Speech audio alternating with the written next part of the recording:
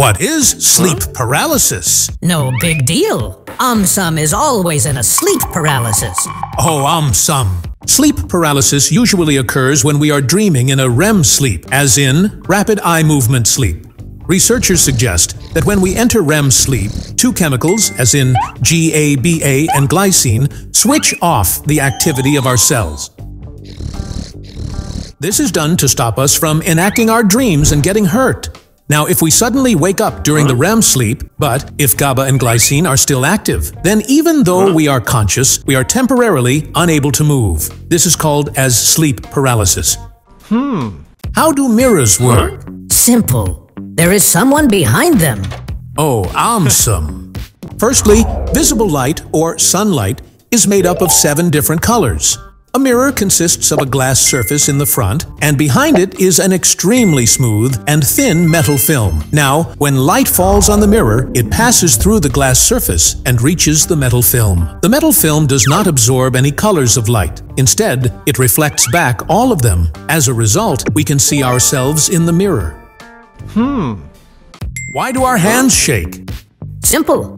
Because we love to shake them. Oh, AumSum! When our hands shake, we are said to be experiencing hand tremors. Some problem with those areas of the brain which control movement leads to tremors. We may experience hand tremors if we consume too much caffeine. We are suffering from lack of sleep or anxiety. We are suffering from a neurological disease such as Parkinson's. Hmm. Why do astronauts wear orange and white spacesuits? Simple. Because orange and white looks good in space. Oh, um, some. The orange spacesuit is called the Advanced Crew Escape Suit. This suit is worn during the launching or the landing of the space shuttle. If there is any malfunction during this period and the astronaut decides to escape, then the orange color is the most visible against the blue sky and the sea. The white spacesuit is called the Extravehicular Activities Suit. This suit is worn when astronauts are working outside the space shuttle. Firstly, the white color reflects most of the sun's extreme heat as compared to other colors. Also, it is easy to spot this color against the vast black expanse of space. Hmm. Why do we dream? We don't dream. Our brain dreams. Oh, AumSum. One theory suggests that we dream to fulfill our wishes. It states that we are not able to express all our thoughts consciously.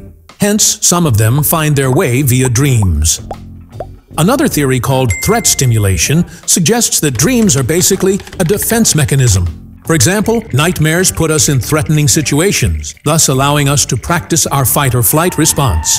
Some people also believe that dreams don't really mean anything. Hmm.